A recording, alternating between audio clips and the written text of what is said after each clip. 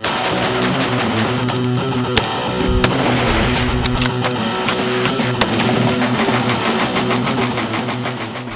going on guys? So today we are out here, we are going to function test a Saiga.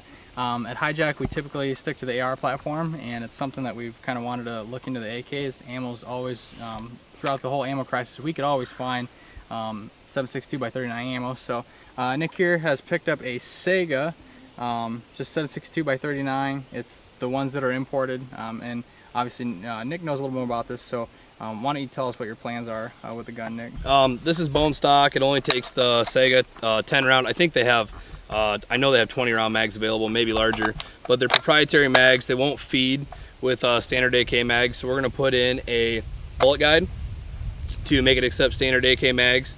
Um, and we're gonna change out the furniture and we're going to um, move the fire control group forward so that it will accept a pistol grip and standard AK stock.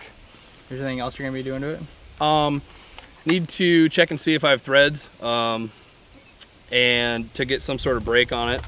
And um, like I said, the fire control group and furniture. You're putting a AK mags. putting a rail on it. Uh, yeah, tri-rail, Tapco, Okay. um, Tapco four position stock. and you and, ordered uh, a you ordered a kit for that? Um, I pieced it together from Carolina Shooter Supply. Carolina Shooter Supply. So. Um, they have kits available, but I didn't find exactly the combinations that I wanted, so I pieced it all together. All right, so look forward to future videos, guys. Uh, we're gonna actually do some videos on uh, drill into this brand new Saiga. It's only got about 50 rounds through here. We're gonna do some more shooting today, so uh, be on the lookout here. Lock's about halfway up, so Okay. depress it. Okay, There that's you go. Um, so when you do your conversion, are you still gonna have that function? Yes. You will. You can you can either eliminate it or keep it. I'm gonna Okay. keep it. Interesting. It's more of a. I mean, I can't I, don't- I can't really think of the use other than just to show that the weapon's clear. You know, Yeah. that's it.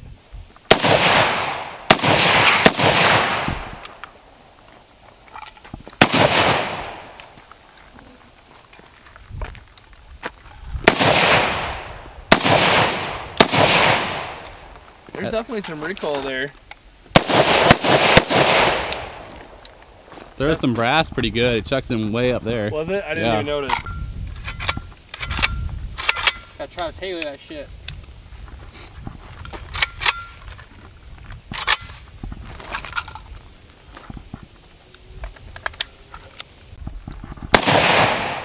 Oh yeah. way up there. Holy shit. Well, I think.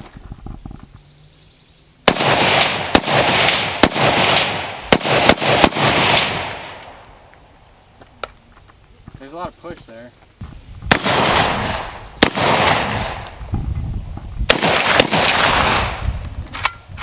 Hear the rounds rip through the grass. Oh, I guess that guy's dead over there. Let's test it. No, let's not test it.